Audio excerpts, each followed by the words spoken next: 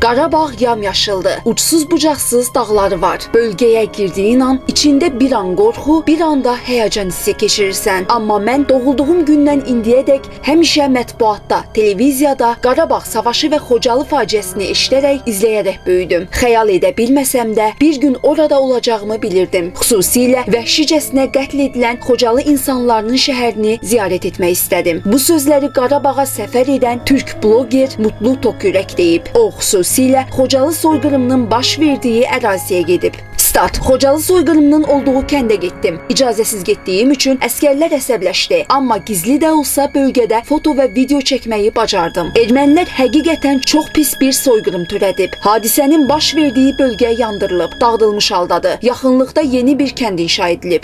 Harabe evlerin olduğu bölge Dağlık Karabağ Savaşı'nda Hocalı katliamı yapıldığı yer burası. Zaten yeni Hocalı'yı da şu yukarıya kurmuşlar. Pek fazla çekim yapamıyorum. Yasak koyuyorlar ya.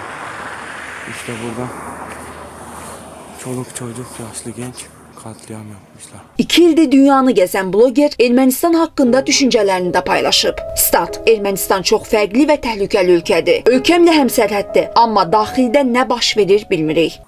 Birinci sıra değil de ikinci sıra Azerbaycan dağları oluyor. Aslında burası Azerbaycan'ın da c'est sur la langue commune.